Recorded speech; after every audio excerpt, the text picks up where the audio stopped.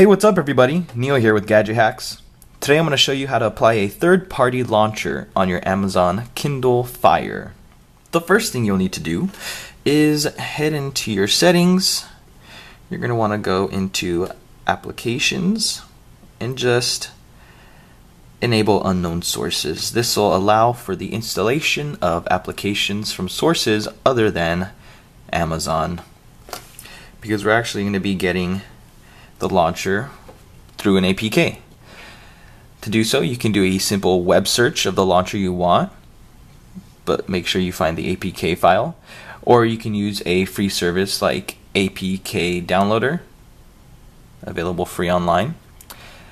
Any of those options is up to you, but they're pretty simple to acquire.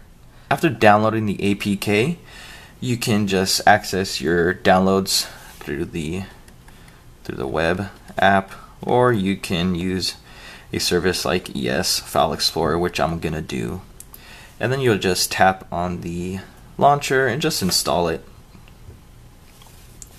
Once it's done installing you're gonna hit open. Oops. And that should open it up right there. You got your launcher. There is a negative about well not really your launcher mostly. It's an issue with Amazon. You're unable to apply wallpapers, and that unfortunately also applies to launchers. So you're stuck with the black background still. To make it your default, you can hit home and it'll give you the option to set it as default always or just once.